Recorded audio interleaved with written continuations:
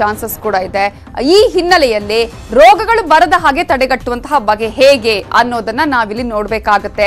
ಮಳೆಗಾಲದಲ್ಲಿ ಅನೇಕ ರೋಗಗಳು ಬರುವಂತಹ ಸಾಧ್ಯತೆ ಇರೋದ್ರಿಂದ ನಮ್ಮ ಆರೋಗ್ಯವನ್ನ ಕಾಪಾಡಿಕೊಳ್ಳುವುದು ಬಹಳ ಪ್ರಮುಖವಾದಂತಹ ಒಂದು ಅಂಶ ಆಗುತ್ತೆ. ಇನ್ನು ಕೊರೋನಾ ಸೋಂಕು ಕೂಡ ಪ್ರತಿ ದಿನ ಜಾಸ್ತಿ ಆಗ್ತಾ ಇದೆ. ಆದ್ರೆ ಈಗ ನಮ್ಮ ರಾಜ್ಯಕ್ಕೆ ಹೋಲಿಸಿದ್ರೆ ನಮ್ಮ ರಾಜ್ಯದಲ್ಲಿ ಸೋಂಕಿನ ಪ್ರಮಾಣ ಕಡಿಮೆ ಆಗ್ತಾ ಇದೆ. ಸೋಂಕಿನ ಪ್ರಮಾಣ ಇಳಿಕೆ ಆಗ್ತಾ ಇದೆ. ಆದ್ರೆ ಮಳೆಗಾಲ ಬಂದಿರೋದ್ರಿಂದ ಬೇರೆ ಬೇರೆ ರೋಗಗಳು ಬರುವಂತಹ ಸಾಧ್ಯತೆ ಇದೆ. ಮಳೆಗಾಲದಲ್ಲಿ ಹೆಚ್ಚು ಎಚ್ಚರಿಕೆಯನ್ನ ವಹಿಸಬೇಕಾಗತ್ತೆ. ರೋಗ ನಿರೋಧಕ ಶಕ್ತಿ ಕ್ಷೀಣಿಸುವಂತಹ ಸಾಧ್ಯತೆ ಮಳೆಗಾಲದಲ್ಲೇ ಇರೋದ್ರಿಂದ ನಾವು ರೋಗ ನಿರೋಧಕ ಶಕ್ತಿಯನ್ನ ಹೆಚ್ಚಿಸಿಕೊಳ್ಳುವಂತಹ ಪ್ರಯತ್ನವನ್ನ ಮಾಡಿಕೊಳ್ಬೇಕಾಗತ್ತೆ. ಅದರ ಜೊತೆಗೆ ಸ್ವಚ್ಛತೆಯ ಬಗ್ಗೆ ಹೆಚ್ಚಿನ ಕಾಳಜಿಯನ್ನ ವಹಿಸಬೇಕಾಗತ್ತೆ. ಯಾವುದೇ ಕಾರಣಕ್ಕೂ ಮಳೆಯಲ್ಲಿ ತೋಯಿಸಿಕೊಳ್ಳುವಂತಹ ಪ್ರಯತ್ನವನ್ನ ಮಾಡಬೇಡಿ. ಯಾಕಂದ್ರೆ ಮಳೆಯಲ್ಲಿ ನೆಂದ್ರೆ ಶೀತ, ಜ್ವರ, ಕೆಮ್ಮು ಬರಬಹುದು. ಅದುವೇ ಬೇರೆ ಬೇರೆ ರೋಗಗಳಿಗೆ ಕಾರಣ ಆಗುವ ಸಾಧ್ಯತೆ ಇದೆ. ಯಾಕಂದ್ರೆ ಅನಾರೋಗ್ಯ ಉಂಟಾಗುತ್ತೆ, ಅನಾರೋಗ್ಯದಿಂದ ರೋಗ ನಿರೋಧಕ ಶಕ್ತಿ ಕ್ಷೀಣ ಆಗುತ್ತೆ. ರೋಗ ನಿರೋಧಕ ಶಕ್ತಿ ಕ್ಷೀಣಿಸಿದ್ರೆ ಸೋಂಕಿನ ಭೀತಿ ಹೆಚ್ಚಾಗುತ್ತೆ. ಹಾಗಾಗಿ ಮಳೆಗಾಲದಲ್ಲಿ ನಮ್ಮ ಆರೋಗ್ಯವನ್ನ ಕಾಪಾಡಿಕೊಳ್ಳುವಂತಹ ಬಗೆ ಹೇಗೆ? ಯಾವ ರೀತಿಯಾಗಿ ಆಹಾರದ ಮೂಲಕ ಕೂಡ ನಾವು ಆಹಾರ ಆಗಿರ್ಬೋದು, ಆರೋಗ್ಯವನ್ನ ಕಾಪಾಡಿಕೊಳ್ಳೋದಕ್ಕೆ ಬಹಳ ಇಂಪಾರ್ಟೆಂಟ್ ಆಗೋದು ಅಂದ್ರೆ ಆಹಾರ. ಸೊ ನಾವು ಸೇವಿಸುವ ಆಹಾರ ಹೇಗಿರ್ಬೇಕಾಗತ್ತೆ? ಯಾವ ರೀತಿಯಂತಹ ಆಹಾರವನ್ನ ಸೇವಿಸಿದ್ರೆ ರೋಗ ನಿರೋಧಕ ಶಕ್ತಿಯನ್ನ ಮಳೆಗಾಲದ ಸಂದರ್ಭದಲ್ಲಿ ನಾವು ಹೆಚ್ಚು ಮಾಡ್ಕೊಳ್ಳೋದಕ್ಕೆ ಸಾಧ್ಯ ಆಗತ್ತೆ. ಅಂತಹ ಆಹಾರಗಳು ಯಾವ್ಯಾವುದು? ಯಾವ ರೀತಿಯಂತಹ ಪ್ರಮುಖ ಪೋಷಕಾಂಶಗಳು ಈ ಸಂದರ್ಭದಲ್ಲಿ ಬೇಕಾಗತ್ತೆ? ಈಗ ಕೆಲವು ಸಂದರ್ಭದಲ್ಲಿ ರೋಗ ಶಕ್ತಿ ಕಡಿಮೆ ಆಗೋದ್ರಿಂದ ಅಜೀರ್ಣ ಹಾಗೂ ಅಲರ್ಜಿ ಅಲರ್ಜಿಯಂತಹ ಸಮಸ್ಯೆಗಳಿಗೆ ಕೂಡ ನಾವು ಒಳಗಾಗುವ ಸಾಧ್ಯತೆ ಇದೆ. ಅದೇ ಕಾರಣಕ್ಕಾಗಿ ಇಂತಹ ಸಮಯದಲ್ಲಿ ಪೌಷ್ಟಿಕ ಪೌಷ್ಟಿಕಾಂಶಗಳು ಯುಕ್ತ, ಯುಕ್ತವಾದಂತಹ ಆಹಾರವನ್ನ ನಾವು ಸೇವಿಸಬೇಕಾಗತ್ತೆ. ಜೊತೆಗೆ ಸ್ವಚ್ಛತೆ ಬಹಳ ಇಂಪಾರ್ಟೆಂಟ್ ನೈರ್ಮಲ್ಯ ಇರುವಂತಹ ಸಂದರ್ಭದಲ್ಲಿ ಯಾವುದೇ ರೀತಿಯ ರೋಗ ಬರುವುದಿಲ್ಲ ಅಂತ ಹೇಳ್ತಾರೆ. ಆ ನೈರ್ಮಲ್ಯವೇ ರೋಗಕ್ಕೆ ಕಾರಣ. ಹಾಗಾಗಿ ನಾವು ನಮ್ಮ ಮನೆಯ ಸುತ್ತಮುತ್ತ ಎಲ್ಲ ಕಡೆಯಲ್ಲೂ ಸ್ವಚ್ಛತೆಯನ್ನ ಕಾಪಾಡಿಕೊಳ್ಳುವಂತಹ ನಿಟ್ಟಿನಲ್ಲಿ ಪ್ರಯತ್ನಗಳನ್ನ ಮಾಡಬೇಕಾಗತ್ತೆ.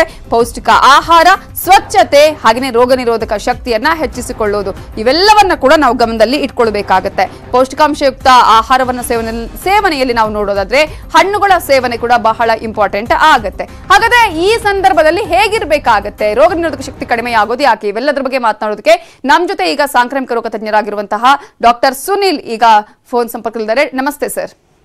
ನಮಸ್ತೆ. ಈಗ ಸಾಮಾನ್ಯವಾಗಿ ಒಂದ್ ಕಡೆ ನಾವು ಗಮನಿಸ್ತೀವಿ ಮಳೆಗಾಲ ಅಂದ್ರೇನೆ ಸಾಕು. ಮಳೆಗಾಲದಲ್ಲೇ ಅನೇಕ ರೋಗಗಳು ಬರೋದನ್ನ ನಾವು ನೋಡ್ತಾ ಇರ್ತೀವಿ. ಸಾಂಕ್ರಾಮಿಕ ರೋಗಗಳಾಗಿರ್ಬೋದು ಅಥವಾ ವೈರಸ್ನಿಂದ ಬರುವಂತಹ ರೋಗಗಳ ಆಗಿರಬಹುದು ಅಂತ ಹೇಳಿ. ಈ ಮಳೆಗಾಲದಲ್ಲಿ ಯಾವ ರೀತಿಯಾದಂತಹ ಒಂದು ಎಚ್ಚರಿಕೆಯನ್ನು ವಹಿಸಬೇಕಾಗತ್ತೆ ಅಂತ ಹೇಳ್ತೀರಿ? ಸಾಮಾನ್ಯವಾಗಿ ಏನಾಗುತ್ತಂದ್ರೆ ಮಳೆಗಾಲದಲ್ಲಿ ವೈರಸ್ ಆಕ್ಟಿವ್ ಇರ್ತವೆ. ವೈರ I mean regular viral diseases ಅಂತ ನಾವೇನು ಹೇಳ್ತೀವಿ. ವೈರಾಣುವಿಂದ ಬರುವಂತ ರೋಗಗಳು ಅದು ಮಳೆಗಾಲದಲ್ಲಿ ಹೆಚ್ಚಿನ ಸಂಖ್ಯೆಯಲ್ಲಿ ಇರುತ್ತೆ ಯಾಕಂದ್ರೆ ಟೆಂಪರೇಚರ್ ಕೋಲ್ಡ್ ಇರುತ್ತೆ cold climate always favours virus transmission ಅಂತ ಹೇಳ್ತಾರೆ. ಹಾಗಾಗಿ ಸಾಮಾನ್ಯವಾಗಿ ಯಾವುದೇ ಒಂದು ಮಳೆಗಾಲದಲ್ಲಿ ಈ ಶೀತ, ನೆಗಡೆ, ಕೆಮ್ಮು ಅಥವಾ ಜ್ವರಗಳಾಗುವಂಥದ್ದು, ಈ ವೈರಲ್ ಫೀವರ್ನ ಸಿಂಪ್ಟಮ್ಸ್ ಇರುವಂತ ಸಾಧ್ಯತೆಗಳು ಬಹಳ ಇದ್ದೇ ಇರುತ್ತೆ. ಸೊ ಅದರಿಂದ ಎಲ್ಲರೂ ಕೂಡ ಈ ವಿಷಯದಲ್ಲಿ ಮುಂಜಾಗ್ರತೆ ಕ್ರಮ ಕೈಗೊಳ್ಬೇಕಾಗತ್ತೆ. ಸೊ ಈ ಒಂದು ಮಳೆಗಾಲದಲ್ಲೇ ಕೂಡ ನೋಡ್ತಾ ಹೋದಾಗ ವೈರ ವೈರಲ್ ಡಿಸೀಸ್ ಜಾಸ್ತಿ ರಿಪೋರ್ಟ್ ಆಗ್ತಾ ಹೋಗುತ್ತೆ. ಇನಿಷಿಯಲಿ ಕೋವಿಡ್ ಬಂದಾಗ ಕೂಡ ಎಲ್ಲಿ ತಂಪು ವಾತಾವರಣ ಅಥವಾ ಈ ಕೋಲ್ಡ್ ಕ್ಲೈಮೇಟ್ ಇರುತ್ತೆ ಅಲ್ಲಿ ವೈರಸ್ ಜಾಸ್ತಿ ಆಗ್ತಾ ಹೋಗುತ್ತೆ. ಕೋವಿಡ್ ಡಿಸೀಸ್ ಜಾಸ್ತಿ ಸ್ಪ್ರೆಡ್ ಆಗುತ್ತೆ ಅಂತ ಕಳ ಹೋದ್ ವರ್ಷ ಎಲ್ಲ ಹೇಳ್ತಾ ಇದ್ವಿ ಬಟ್ ಈಗ ನಮ್ಮ ದೇಶದ ಒಂದು ಟ್ರೆಂಡ್ ನೋಡಿದ್ರೆ ನಮಗೆ ಈ ಬೇಸಿಗೆ ಕಾಲದಲ್ಲಿ ಕೋವಿಡ್ ಸಂಖ್ಯೆ ತುಂಬಾ ಜಾಸ್ತಿ ಆಗಿ ಈ ಒಂದು ಕಾಲದಲ್ಲಿ ಈಗ ಇಳಿಮುಖ ಆಗ್ತಾ ಇದೆ ಅಂತ ಹೇಳ್ಬೋದು. ಹ್ಮ್ ಹ್ಮ್ ಹ್ಮ್ ಹ್ಮ್ ಹ್ಮ್. ಸೊ ಕೊರೋನಾ ಜಾಸ್ತಿ ಆಗುವಂತಹ ಭಯ ಸ್ವಲ್ಪ ಕಡಿಮೆ ಅಂತ ಹಾಗಾದ್ರೆ? ಇಲ್ಲ ಆತರ ಏನಿಲ್ಲ. ಬಟ್ ಏನಾಗತ್ತಂದ್ರೆ ಈಗ ನಾವು ನೋಡ್ತಾ ಹೋದಾಗ ನಮ್ಮಲ್ಲಿ ಈಗ ಅಲ್ಲಿ ಎರಡು ತಿಂಗಳಿಂದ ಏನ್ ಕೇಸಸ್ ಜಾಸ್ತಿ ಪೀಕ್ ಆಗಿ ಹೋಗುತ್ತೆ. ಸೊ ಅದು ಕೇಸ್ಗಳ ಸಂಖ್ಯೆ ಜಾಸ್ತಿ ಆಗ್ತಾ ಹೋಗಿ ಈಗ ಲಾಕ್ ಡೌನ್ ಎಲ್ಲ ಮಾಡಿರೋದ್ರಿಂದ ಒಂದು ಏನಿದೆ ಜನಗಳು ಮೂವ್ಮೆಂಟ್ ಎಲ್ಲ ರಿಸ್ಟ್ರಿಕ್ಟ್ ಆಗಿ ವೈರಲ್ ಈಗ ತಮಗೆ ಗೊತ್ತಿರೋಂಗೆ ರಾಜ್ಯದಲ್ಲಿ ಅಥವಾ ಬ್ಯಾಂಗ್ಳೂರಲ್ಲಿ ಎಲ್ಲಾ ಕಡೆ ಕೋವಿಡ್ ಕೇಸಸ್ಗಳ ಸಂಖ್ಯೆ ಜಾಸ್ತಿ ಆಗ್ತಾ ಹೋಗ್ತೆ. ಸೊ ಬಟ್ ಇದನ್ನ ನೋಡ್ತಾ ಹೋದಾಗ ನಮಗೆ ಇದೊಂದು ಬೇಸಿಗೆ ಕಾಲದಲ್ಲೇ ಕೋವಿಡ್ ಕೇಸ್ಗಳ ಸಂಖ್ಯೆ ಜಾಸ್ತಿ ಆಗ್ತಾ ಹೋಯ್ತು. ಆಗ ನೋಡ್ತಾ ಹೋದಾಗ ಕೋವಿಡ್ಗೆ ಕೆಲವೊಂದು ಈಗ ನೋಡ್ತಾ ಈ ಉದಾಹರಣೆಯಲ್ಲಿ ನೋಡ್ತಾ ಹೋದಾಗ ಏನು ಟೆಂಪರೇಚರ್ ಅಂತ ನಾವೇನ್ ಹೇಳ್ತೀವಿ ಅದು ಅಷ್ಟೊಂದು ಫೇವರಬಲ್ ಅಲ್ಲ ಅಂತ ಅನಿಸ್ತಾ ಇದೆ. ಯಾಕಂದ್ರೆ ತಂಪು ವಾತಾವರಣ ಇರುವಂತ ಕಂಟ್ರೀಸ್ ಅಲ್ಲೂ ಇದು ಇದೆ ಮತ್ತೆ ಬಿಸಿ ವಾತಾವರಣ ಇರುವಂತ ನಮ್ಮ ದೇಶದಲ್ಲೂ ಕೂಡ ಇದು ಜಾಸ್ತಿ ಆಗ್ತಾ ಇದೆ. ಸೊ ಹಾಗಾಗಿ ಇದಂತ. ಬಟ್ ಸಾಮಾನ್ಯವಾಗಿ ನೋಡ್ತಾ ಹೋದಾಗ ವೈರಲ್ ಡಿಸೀಸಸ್ ಏನಿದೆ ಇವು ಯಾವಾಗ್ಲೂ ಈ ಒಂದು ಮಳೆಗಾಲದಲ್ಲಿ ಅಥವಾ ಶೀತ ಪ್ರದೇಶದಲ್ಲಿ ಶೀತ ಟೆಂಪರೇಚರ್ ಕಮ್ಮಿ ಇದ್ದಾಗ ಜಾಸ್ತಿ ಆಗುವಂತ ಸಾಧ್ಯತೆ ಬಹಳ ಇರುತ್ತೆ. ಆದ್ರಿಂದ ಜನಗಳು ಅಗತ್ಯ ಕ್ರಮ ಏನು ಕೋವಿಡ್ ಕಮ್ಮಿ ಆಯ್ತು ಅಂತಲ್ಲ ಸೊ ಈಗಲೂ ಕೂಡ ಕೋವಿಡ್ ಏನ್ ಮುಂಜಾಗ್ರತೆ ಕ್ರಮಗಳಿದೆ, ಅದನ್ನ ಅನುಸರಿಸಬೇಕಾಗ್ತಾ ಹೋಗುತ್ತೆ. ಅಂದ್ರೆ ಈಗ ಪ್ರತಿ ಮಳೆಗಾಲ ಬಂದಾಗ ನಾವು ಬಹಳ ವಿಚಾರಗಳನ್ನ ಹೇಳ್ತೀವಿ. ಅಂದ್ರೆ ವೃದ್ಧರಾಗಿರ್ಬೋದು, ಮಕ್ಕಳನ್ನ ಬಹಳ ಜಾಗೃತಿಕತೆಯಿಂದ ಕೂಡ ನೋಡ್ಕೊಳ್ಬೇಕಾಗತ್ತೆ. ಯಾಕಂದ್ರೆ ಜಾಸ್ತಿ ಅವರಿಗೆ ಅಟ್ಯಾಕ್ ಆಗೋದು ಅಂತ ಹೇಳಿ. ಈಗ ಥರ್ಡ್ ವೇವ್ ಕೂಡ ಒಂದ್ ರೀತಿಯಲ್ಲಿ ಮಕ್ಕಳ ಬಗ್ಗೆನೇ ಜಾಸ್ತಿ ಮಕ್ಕಳಿಗೆ ಬರುವಂತಹ ಚಾನ್ಸಸ್ ಇದೆ ಅಂತ ಹೇಳಿ. ಸೊ ಒಂದ್ ಕಡೆ ಮಳೆಗಾಲ, ಇನ್ನೊಂದ್ ಕಡೆ ಥರ್ಡ್ ವೇವ್ನ ಆತಂಕ ಕೂಡ ಇದೆ. ಹೇಗಿರ್ಬೇಕು ಹಾಗಾದ್ರೆ?